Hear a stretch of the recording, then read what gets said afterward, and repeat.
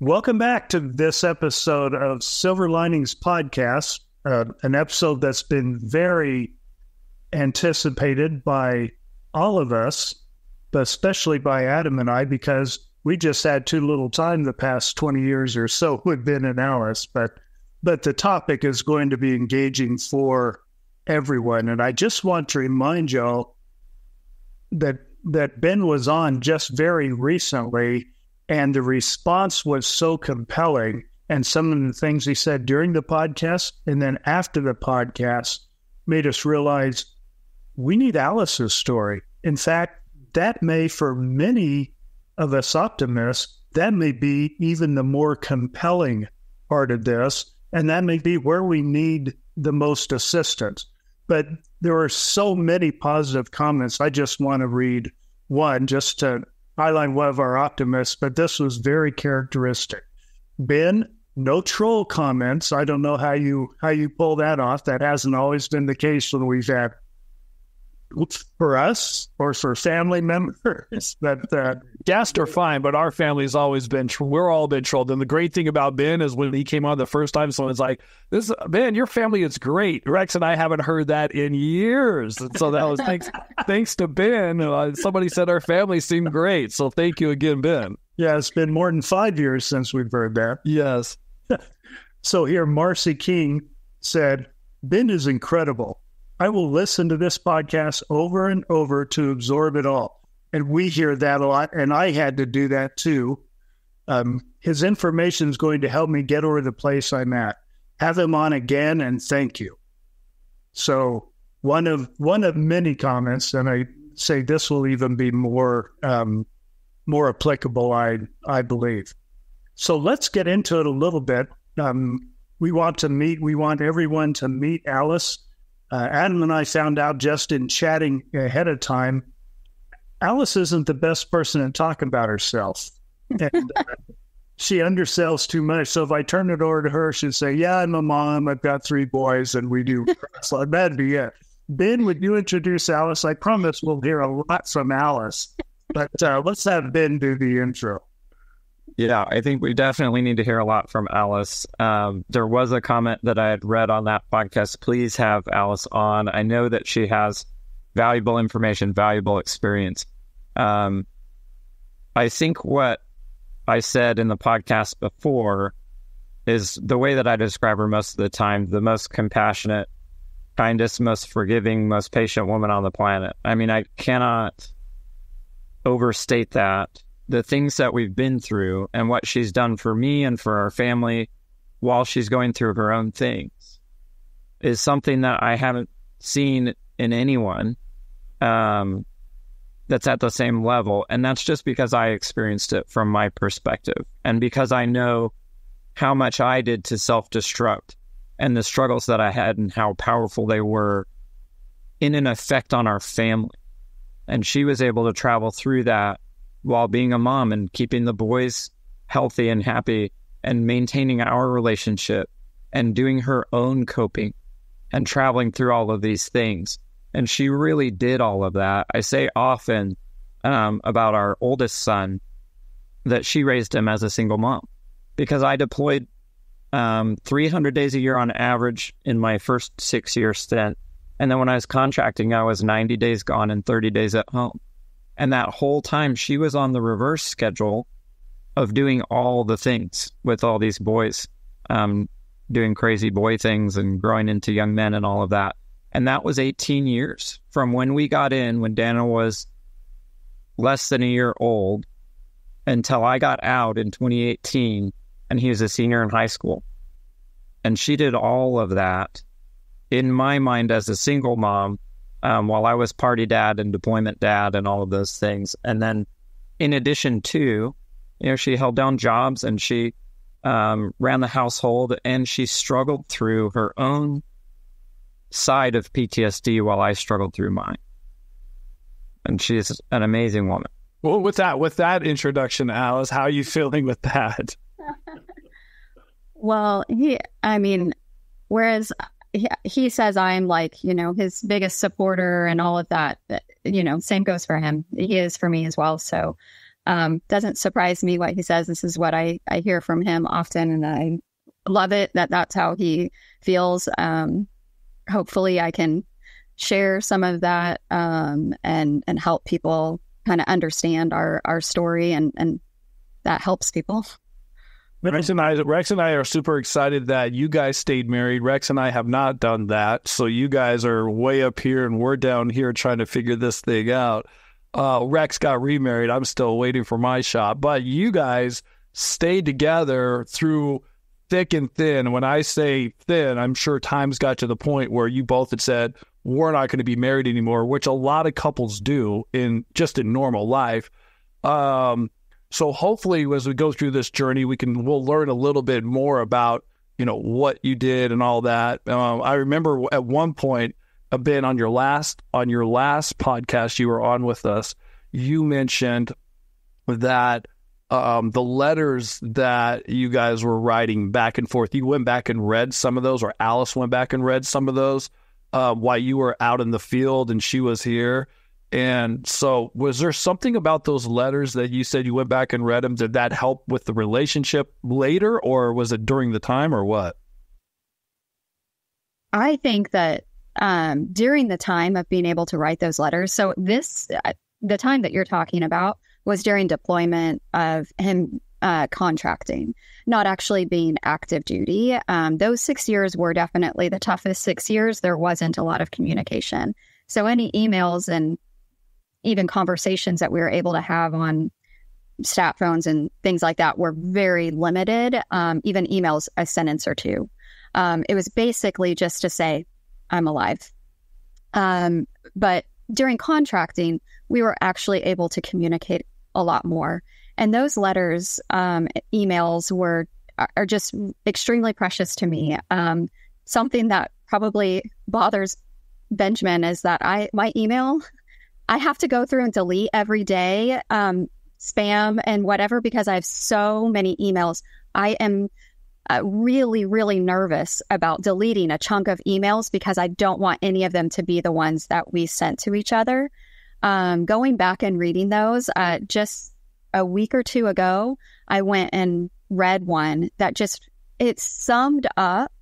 Um, and I should probably maybe at some point I'll I'll find it and read it you know, maybe on the live one or something. I yeah, can read it. Great. It sums up our family and in this short little email so much.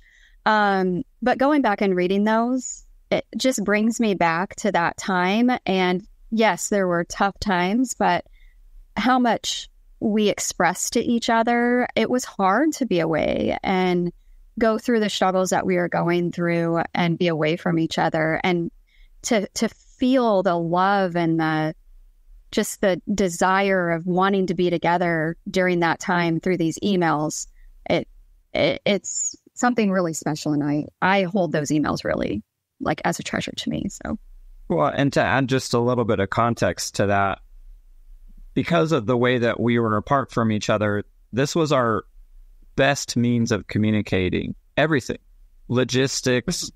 trouble with the boys, hospital stays, you know, struggles that we're having, all of those Cell things. Phone issues. Yeah.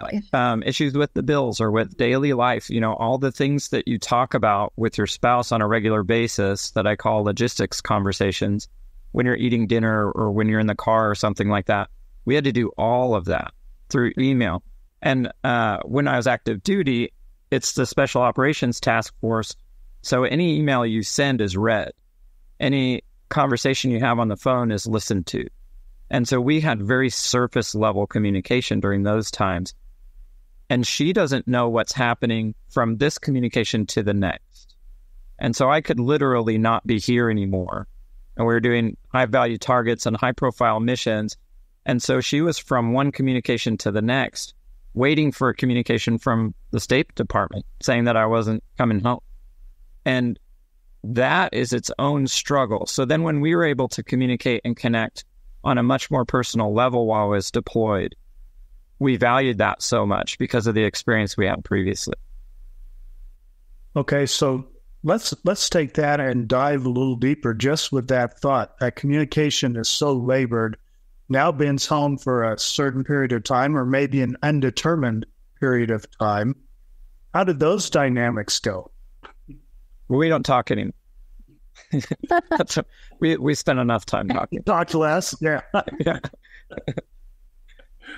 Um, yeah.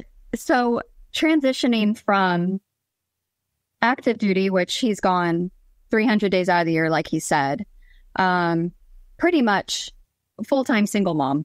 Uh, that, that's how it was during those six years. He would come home for a day after being gone a month and then home a day or two and then gone two months. Like it, it just, it was sporadic. It was random, home a week, then gone two weeks, eh, you know, and then for maybe a month, he'd be in and out the door, yeah, just random. So it just was sporadic. Whereas once we got out and he was now deploying, um, we had more of a schedule, and uh, it was thir- uh, six, sorry, three months gone and one month home.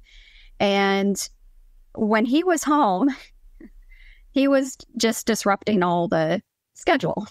So Party yeah, so you know, he would come home and sometimes we would know exactly when he came home and sometimes he would try and surprise us. And so then he would surprise me but the kids would be at school. So then we'd go surprise the kids at school and pull them out.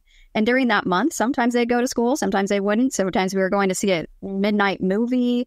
Um, like it was just all over the place the, the boys didn't want to go to sleep at night they wanted to just hang out with dad and sometimes, you know, for a week, we would go on a little trip just for the two of us, and the kids were with friends and everything. It was just all over the place. And then he left and went back, and I'm like, no, you have to go to school. No, you, you have to go to bed. Clean up the messes. Um, it's almost like when grandma comes over and gives everybody sugar and then leaves the kids with right. you, kind of thing. That was yeah. Yeah, Santa came and brought presents, and then he left, and then he left you with the mess.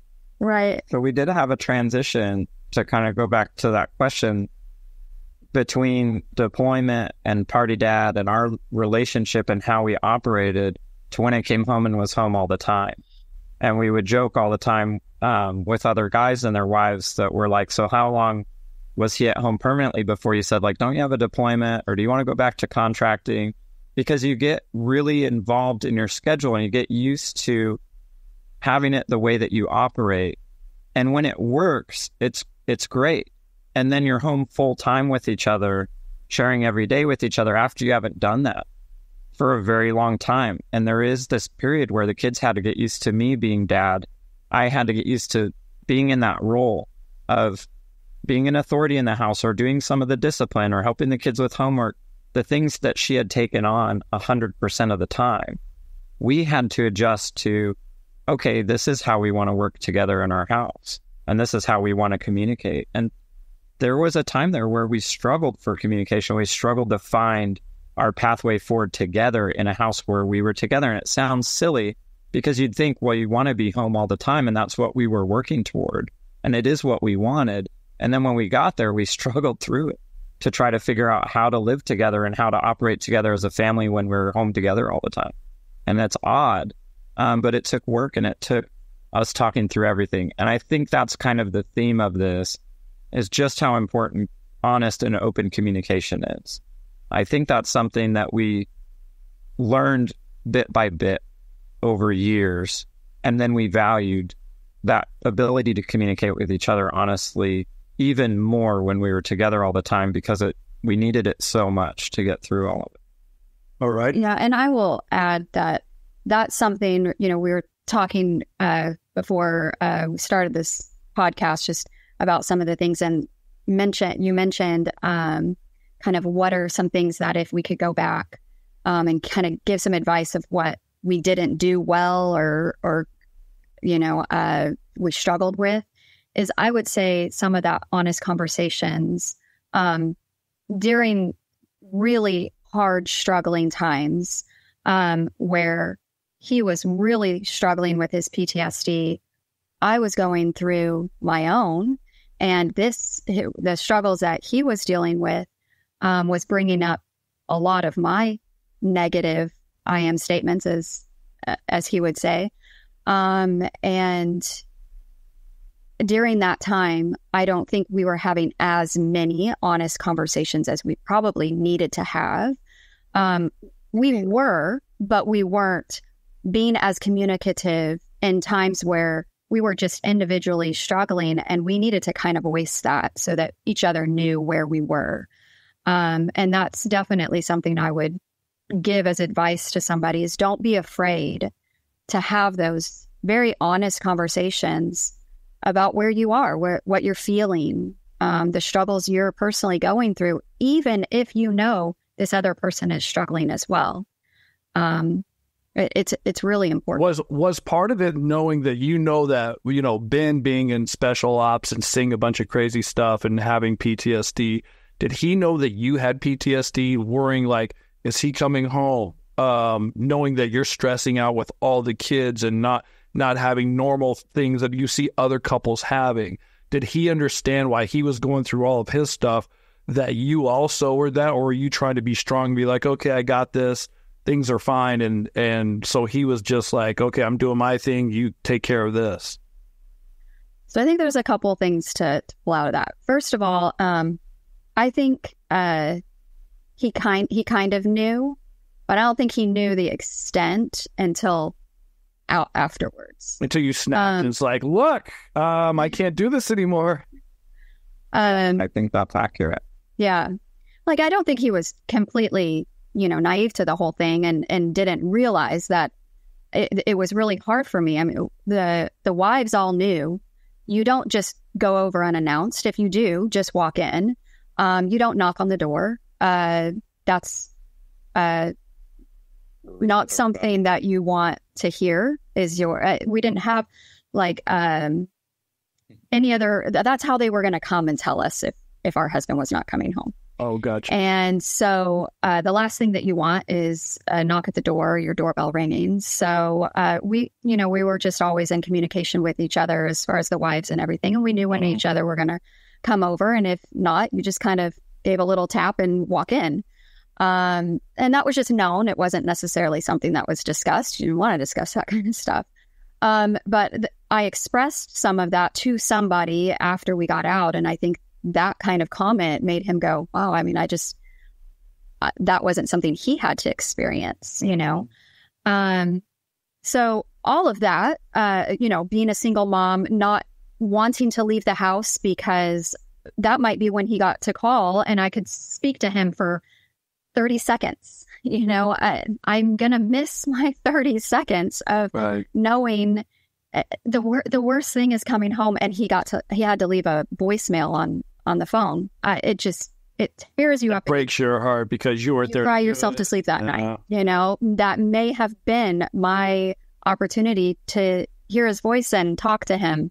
We might have to explain. We didn't live in the fifties. we just were stationed in Okinawa, and we had landlines in the base housing. Yeah. All right. And so she's talking about you're in base housing. That's your phone. We didn't have cell phones.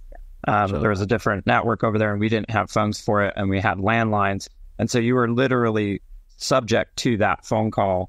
And if you were out of the house, you weren't getting it. So that's what she's talking about. Um, but then, uh, then in addition to that kind of PTSD of just um, not not knowing is is he coming home and when can I talk to him and you know, just being this, living in this life of, I, am kind of on my own. I, every decision I make, every, everything, I can't discuss it with him. I have no way of talking to him. Um, so all of that being said, I also struggled with my own trauma throughout my life. And um, we can touch on that now if you want. Um, yeah, that's that's where I was kind of going because I know a lot of times um, women that are probably watching this podcast right now put on a smiley face for everybody else. They make everything look like everything's fine because they want everybody, their kids not to worry, their husbands not to worry, their friends. They put on this big happy face, but deep down inside, they are struggling. Um, how do you, what advice do you give to women who are in that situation right now that are listening? Um, it's okay. It's okay to talk about it. It's part of who you are. And it's people are going to understand you and love you no matter what. And if they don't, it's okay. It, it, it's all right to be you and admit or talk about or whatever all the struggles that you went through. Um, and I I have a lot of trauma in my life. I um, went through several divorces, not not my own, I, through through being a kid. My parents got divorced when I was really young. Both of them remarried, and then uh, my dad eventually got divorced after finding out that my stepmom was emotionally and verbally abusing me, which then I was blamed for the divorce and wow. um, was separated from the siblings of from that side because I was made out as the bad person in all of this. Mm. Um, I how, how, old were you when that happened, Alice? How old were you? I was in high school when that divorce happened. Yeah, that's rough um, when I was being emotionally and verbally abused by my stepmom and um, blamed for it and that divorce and everything. Um, so that that was tough. Um, I uh, went through sexual abuse in high school, um, a tragic event that happened. Um, I was in the dance and cheerleading world for many, many, many years, which was great and wonderful, but it also um, during that time it's a it brings up a lot of um, body shame issues that I was having to deal with weigh-ins every week, um, and it's affected me long term with my weight, how I look, um, things like that. Um, I was in a verbally and emotionally abusive relationship, um, also high school and college time period. Um, so I I do have a, a, a lot of negative I am statements there that then when you are with somebody who um, is is struggling with PTSD and self destructive, and they're trying to actually disconnect from you because of what they're dealing with, um, that can actually cause all of my negative I am statements to then come out, be worse. And you start putting it on you and thinking, um, this is because I'm not good enough, because I, I don't, he, he doesn't love me because I don't look a certain way is, you know, one of, one of my things, um, or, or this or that, or what, whatever it is. Um, and that was really hard for me and something that I had to really try to remind myself it's not about me. This isn't about me at all. Um, it, it's not something I could remember all the time, and, and it's it's not going to be something you can recall all the time. But it would be something that I would say, you know, write and lipstick on your mirror in your bathroom. It's not about you um, to somebody that might be going through this right now. Um, as often as you can remember that, the better. And this is linking that back to that honest conversation. Um, that's where I wish I would have been a little bit more honest to let him know. It's not that he didn't know some of the things that he was doing was hurting me, but how was it hurting me? How how most specifically was it hurting me? Um, well, and she's such a strong individual and she has such a powerful work ethic and she was going to do everything that she needed to do to keep the boys safe and moving and growing and all of the things were going to be handled no matter how she felt. And i didn't always know exactly how she was feeling because a lot of times we were doing our thing. You know i'm deploying i'm doing my work or i'm getting done what i need to get done and she's getting done what she needs to get done and I think we didn't have enough of that conversation that said, I'm really struggling. I really need your help, or I need support from someone. And we just both kind of went along assuming, okay, you're having a tough time, but we're getting it done. And I totally agree with what she said that I think for anybody listening to this or struggling through these things, communicate more the honest truth about how you're feeling and about what you need it's okay to do that. We often think, I'm going to protect the other person by handling my own stuff. and not putting a burden on them. And the opposite is true. You need the support, you need the connection. You both need to know how you're doing. Um, we have several stories that can illustrate being surprised by how each other were feeling. You know, I was expressing to Alice one time in the car how I was crumbling and how I had had um, suicidal ideations. When she started crying and we pulled over, she could hardly get it out. But she's like, I haven't told you that I've been thinking about that every day for herself from her own struggles. And I had no idea. Because you were wrapped up in your own. Yeah. I was in my own struggle. And we see each other and we know that there's something going on, but we don't know the depth of that. And it's incredibly important to know the depth of it. And that's what Adam was referring to when he said you're being strong for other people. And you're talking about open, honest communication. But earlier you said honest and open communication. You're being, I'm sure you were being honest in your communications at that mm-hmm. time, just not open. You didn't divulge everything because you were protecting the other person. And that's what needed, actually needed to come out.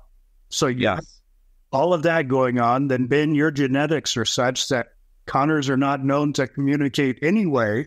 So the fact that you're doing any communication is uh, is something, okay. But how do you get into how do you create this safe space with when you have a relationship with someone else, whether it's your spouse, children, adult children, whomever it is?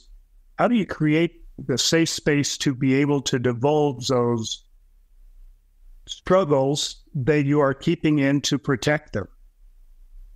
Man, that's a hard one. Can I do some clinical and then yeah. you answer it? Is that okay? Sure. Um, He's got charts. With, we can split it with you. with ice cream. Uh, okay. I think. I'll come buy you some Blue Bell.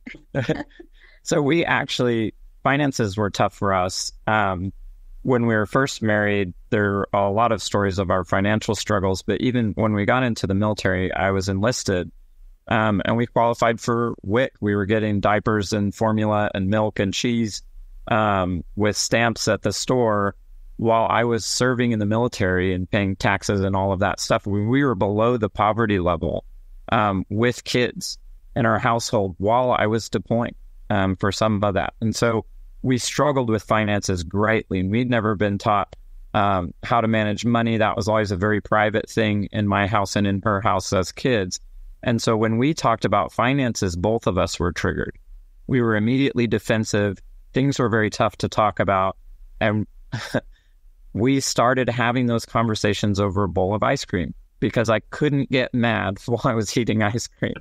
And this is a, you know, it's kind of a silly thing, but set the table to prepare yourselves for the conversation. If you're going to eat soup, you can't put out a fork and eat soup, right? So if you're going to have a tough conversation, put yourselves in a place where you can be connected. Right now, we're, you know, holding hands or, you know, we have skin on skin contact because we're talking about difficult things. And this helps us know that I'm supporting you. I'm here with you in this. We're traveling through this together. This isn't an individual thing that's happening here and we don't have to defend ourselves. We're right here together, exposed, touching each other. Like this is an important thing in our communication. And so one of those clinical ideas is set the table, do it on purpose, and put something in place that helps you to be connected during that conversation. Sit next to each other, look at each other, touch each other, be connected for the tough conversations. And if you need you know, Girl Scout cookies while you're having that conversation, then eat those, you know.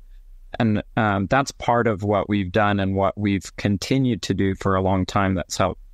And I pass that on to my clients all the time. I think it's incredibly important.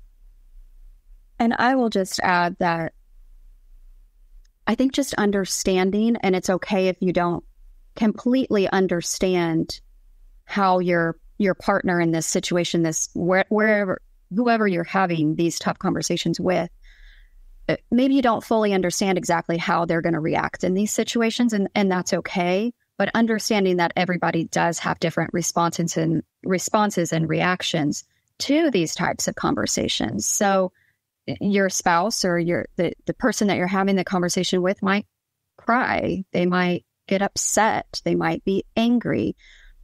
And it's up to them to to to respond in, in whatever way is, you know, accurate for them. Um, but it, that doesn't necessarily mean it's directed to you or you know on to you. It's uh, something. It's just their reaction to it. Um, that is something that I have really had have had to learn about him. It, we don't react the same way to a lot of things, um, but I would say finances would be one of them, since that's kind of the topic right here um, that he brought up. Uh, we don't react the same way, and um, throughout our struggles, we we don't react the same way to those. The way we disagree, we don't respond or react the same way. I'm very sensitive. He's very direct. Um, I will tell you that doesn't really go very well together. um, I get hurt a lot. Um, it's taken me a really long time, and I wouldn't even say that I'm 100% like, okay, I can just let that go or whatever. Um, but I do understand more that that's not directed towards me. That tone, that yeah, he's not coming from a place of attack. He's that's his response, and it's okay to have that response. Now, to direct it to to me when you know that's not what this is about. It's supposed to just be a conversation. That you know would be different, but you know that a lot of times this is just his reaction, and so I think just kind of understanding that you are different people you're coming together to try to have a conversation to um, understand where each other are. And it's okay if you're not both on the same page reaction wise or with what exactly needs to happen moving moving forward. It's it's okay to be on different pages. At some point, in order to make a decision, you're going to have to come together. But in the conversation, it's okay to be in different places and to have a different outlook or response or anything like that. And it, it's okay to leave the conversation having felt strong emotions and it not being all tied up in a bow, you know, like a like a 30 minute sitcom or something like that. You can leave it where it is, having traveled through that together, communicated honestly, and not come to a conclusion. It's all right to do that. Um, I think we always got this advice when we're getting married, you know, don't go to bed angry or don't leave anything unresolved. And I like to get into things and have them resolved. And Alice doesn't know her response all the time. And so she might need a couple of days to figure things out, to sort through her own thoughts and feelings and come back to me and communicate again. And I think that's something we struggled with for a long time was that I wanted it finished. I wanted a solution. You know, I'm thirsty. I want the glass of water. I want to not be thirsty anymore and it's over. And she didn't respond well to that. And it would cause disruption in our communication, you know, shutting down because she knew it needed to be resolved in order for me to feel good about it. And we had to travel through the idea of allowing things to still be undetermined and unresolved, but having expressed them and having been honest and allowing each other the space to think about it and to come up with how we feel and what we need to do to move forward. And it's okay to do that. What I loved, though, you guys, what I loved about what you guys said was you, Al said that she's sensitive and you, and you're more direct. You have two different types that don't always go hand in hand. And if you're one type of personality, it's really hard to understand the other person's personality that's sensitive and it's not sensitive. Yeah. Um, and I think there's a lot of couples that are probably in that same situation where one is, but to understand it, well, once you guys decided that, look, I know you're sensitive, and maybe when Ben says, look, I know you're sensitive, um, and this, hopefully, this doesn't come out to be where you feel like I'm attacking you. You guys have worked that out to now where you both understand each other. Where before, if you don't ever talk about it, you just you go to your room crying, and he's upset that you're crying, but he's like, "Look, I this is how I am. This is this is what I want." Without you know communicating, and I think there's a lot of people that if they figure out, it's almost like figuring out what your love language is what's your what's your fight language or what's your, your yeah you got yeah yeah communication and how do you act when you're spun up when you're triggered? Yeah. That I think Adam is the key because when you have someone going through PTSD and depression and you have somebody who's trying to handle you going through that you're not going to do it the same way. My isolation response is not going to help her need for connection to be supportive to me. She wants to support me. She wants to help me. She doesn't know how. And I'm busy trying to isolate so I can protect her from my reaction. And to understand that that's not a personal attack and it doesn't mean that I don't want you to help me, it's very difficult to come around to. But those different ways of communicating, different ways of struggling, if we'd been able to communicate that early on, we would have saved ourselves a lot of trouble. If we would have been able to say, every once in a while when we're having an argument, I need space and it's okay. We're going to come back to it later. It's not about you. It's me sorting through my feelings and that's all right. We'll do that. If we're able to say those types of things and have that kind of strategy for our communication early on, we would have been a lot better off. We struggled through all that, learning those things step by step and argument by argument or struggle by struggle. Um, but the thing that saved that and helped us come around to it was continuing to be open, continuing to be honest, and saying the things that were hard to say. And I'll just add one more thing that that with all this being said and the things that we know about each other now, it doesn't mean that we're perfect in it, even now, knowing what we know. um, there's still times when we get into disagreement where he's direct and I'm sensitive and we come away from it being hurt. But it's it's understanding and knowing that that's more of what it is that we're just communicating differently and and reacting to it differently and feeling it differently. And so we're we're able to come together quicker faster whatever you want to say. Um, at the end of it a little bit easier now because of it. It doesn't necessarily change like i can't change who i am. He can't change who he is and and that's not what we're saying people should do but it's it's recognizing it and it's understanding that that is my spouse and that's how they are. And maybe i need to not be so direct. Maybe i need to not be so sensitive but you can't help who you are. You, you, you so yeah you are who you are. Uh, Rex, you you mentioned on a podcast, one of our podcasts we did, maybe early days of our podcast. Rex did a whole thing on trust, um, and people just loved it the way Rex explained the the trust situation in, a relationship. And you two, is was there a trust situation since he was gone all the time and you were here? Did you guys talk about trust? Did you have? So there's some couples that just automatically trust or work for trust. Or was trust one of those things that that caused more stuff between you, or no? Oh yeah. Oh yeah.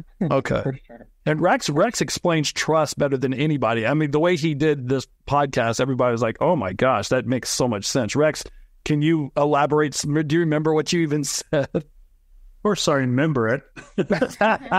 yes, that's a big, big part of the book that I released before we did our book together. But now yes. I'll save that for Ben and Alice therapy session when okay, perfect. We're trading back and forth. You know, it's as we go because I want to ask this to Alice. I think I think a lot of people are going to going to want to know this too because Ben shared with us while he was finding his struggles. Of course, he went to the VA.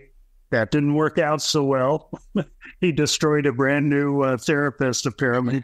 yeah, VA, and so he is left on his own to try to find how to heal, etc. Well, here you are, a different person, different personality. You can't find healing on his coattails how did you approach making sense of it, finding healing, Alice? We inquiring minds want to know. Well, this is a good question, and one that, to be honest, um, I was hoping maybe wouldn't come up. yeah, we're not going to. I will just tell you, I, and and here's here's why. Um, I you know right now in in this space that we've been in recently, I love mental health therapists, all of that. I, you know, before I, I, I struggled and I, tr- I tried to find therapist after therapist after therapist that I could connect with. And it's a hard thing. It's not the same as you get a recommendation to somebody that when you have a broken arm or you uh, need to go to the doctor to get antibiotics you can go to somebody that maybe just you don't connect with, but they're going to write you a prescription. They're going to fix your arm. They're going to do surgery on you and they're good. They're good at what they do. That's a little different when you're going to a therapist. You, you want to go to somebody good that can, can help you. but you also have to connect with them. And I was having a hard time with that. I tried. Um, so I was a little bit like Ben in that I just kind of had, I was left to my own devices. Um, I, I will tell you uh, just some of the things that I kind of thought of and how I coped with a lot of what I was dealing with, whether it was personal based on my own trauma or based on the fact that here I am living with somebody and supporting somebody who's going through their struggles and their struggles then is increasing my struggles. Um, but you know, one of the things that I thought of is that I I had to take a break from some of that heaviness. And I would suggest to anybody that you do, you have to give your mind a break from that kind of stuff. Um, it doesn't mean that I like left the family and went off on a, you know, retreat or something like that, which I'm not saying downplaying and that that might be great for people. But I focused on what I say the dailies. He likes to call them the basic. I call call them the dailies because I think it's a little bit more involved than just I need food and I need sleep and that kind of basic things. But I focused on my daily work, um, which was mostly taking care of my boys, which I loved. I loved being a mom of these three young boys, and so I, I, I didn't learn to cook when I was younger. Um, so I read cookbooks, like literally read them from cover to cover, like you would read a novel. Um, and it does. It. I suggest that for anybody that doesn't cook because you really learn recipes and things like that. Anyways, that's for another podcast. um, but uh, you know, I I read cookbooks. I learned how to cook, and I was very passionate about it. I wanted to be inventive and creative, and for the family, and I took a lot of joy in that. Um, just doing things with the boys. Um, I did elaborate birthday parties for them. That doesn't mean that I spent a lot of money on them. I just learned how to be creative with how I baked a cake and decorated the cake. And I made a lion cake one time. And I, I'm not a baker and I'm not, um, yeah, I don't. Good at decorating. Yeah, decorating food or whatever. I don't do that. Um, I, you know, I made homemade decorations. I made a full pinata one time. I, you know, just things like that that I just put a lot of time into. Um, and that helped. Uh, I would include self care in this kind of arena. Um, that was my self care. I would say my self care now is different than then. Now my self care is I like to work out. I like to read books. I I love to go for walks. I or a hike or you know things like that. That wasn't my life then. Then it was really wrapped around my boys, and that was what I took a lot of joy in. And so I would. That was just kind of my healing is taking a break from this these constant conversations or deep emotions that I could focus on something else and kind of give my mind a break. So that was one of the the ways that that I coped, I guess. Um, in regards to therapy, I am still in search of um, who I would say would, and and I am honestly. I have uh, seen somebody recently that I've discovered I don't connect with. um, so I, but I, I do really think it's very important. So if you can find somebody that you can connect with it, it is so important. Just like going to the doctor for, you know, your regular things. Um, during this time, this type of stuff, trauma or supporting somebody with trauma, it's so important that you find a therapist. Okay, Hopefully. so and that that connection is what Adam, that's why Adam brought up the trust issue. Trust is a foundation of that connection, is it not? And Ben has some brilliant insight to that dealing with veterans and PTSD. You have some wonderful insight, and you're at the part of the journey that everyone is now waiting, going to wait for the other shoe to drop, Alice. Okay, so what'd you do next? What you find? What What's your journey? Uh, you know you aren't going to be able to end this story right here with that. Uh, with well, that's the thing is the journey keeps going. Like uh, that, we we actually have a, a, one of our mottos. We have a couple.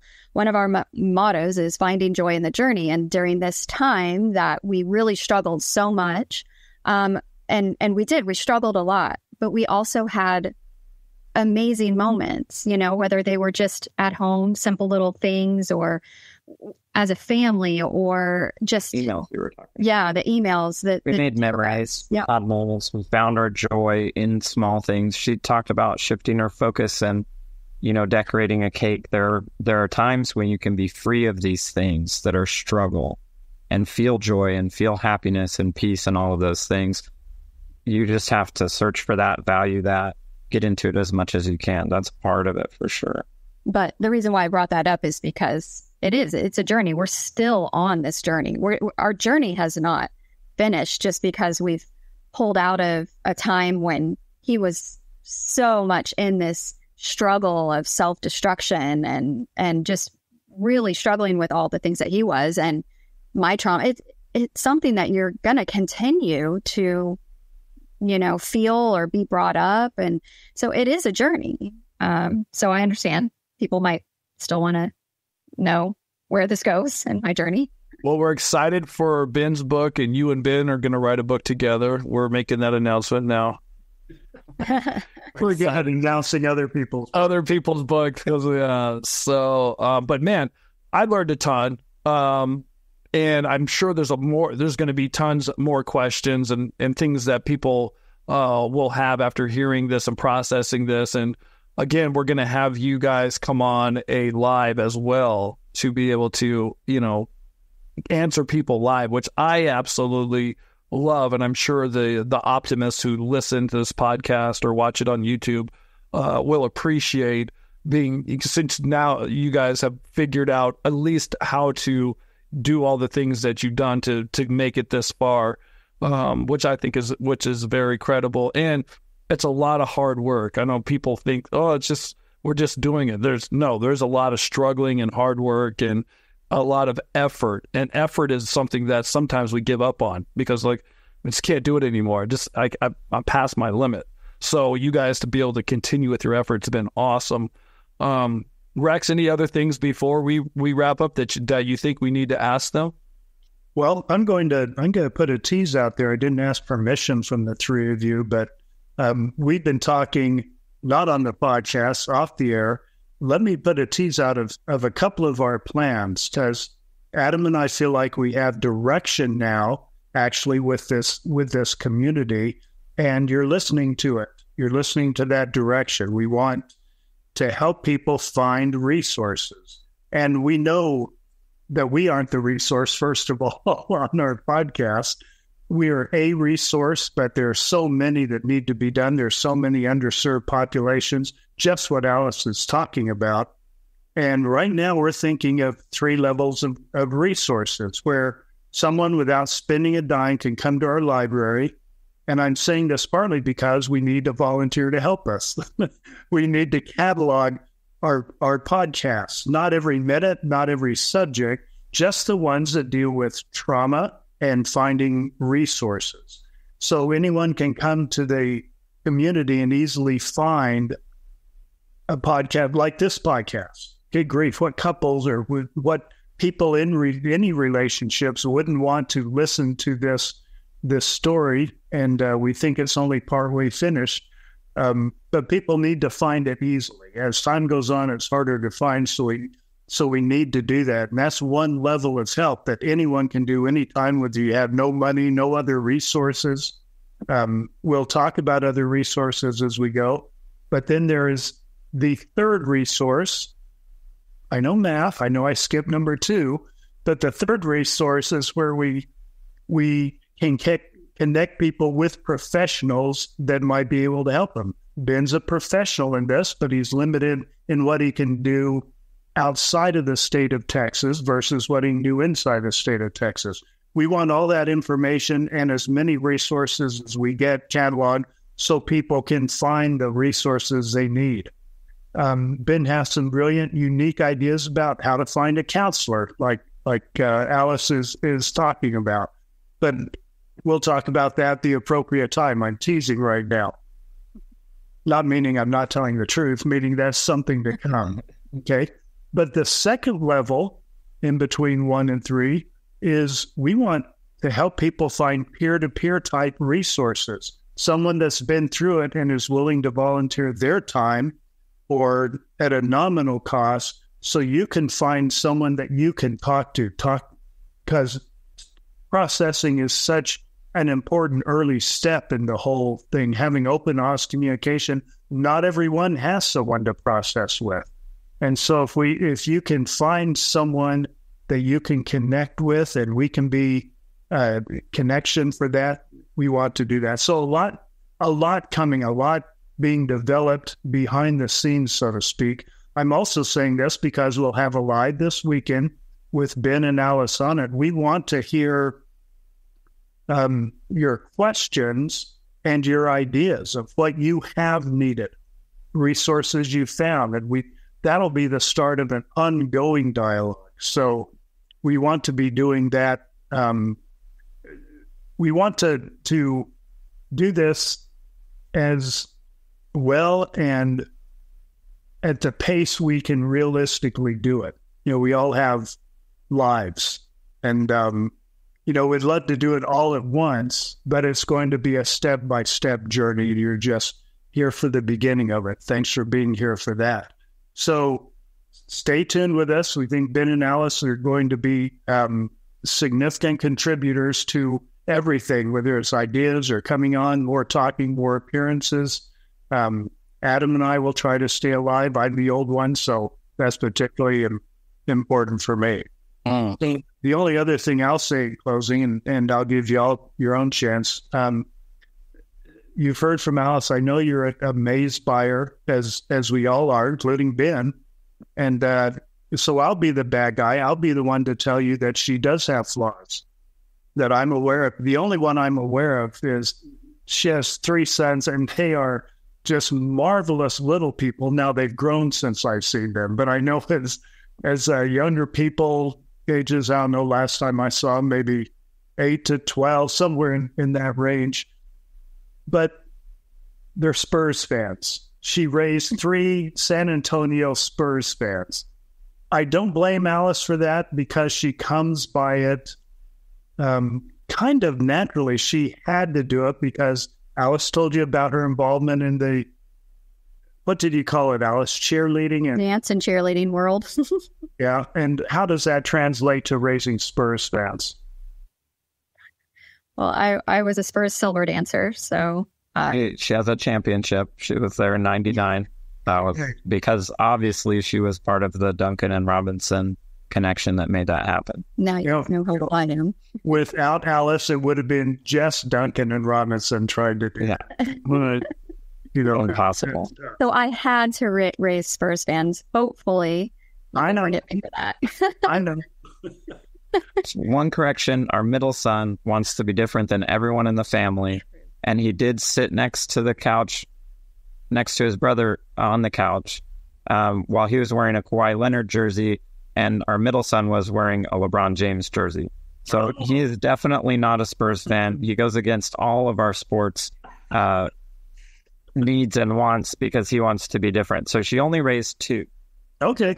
Looking at so that we give give credit where credit's due. Please redeeming value there. Very good. Very good. Yeah.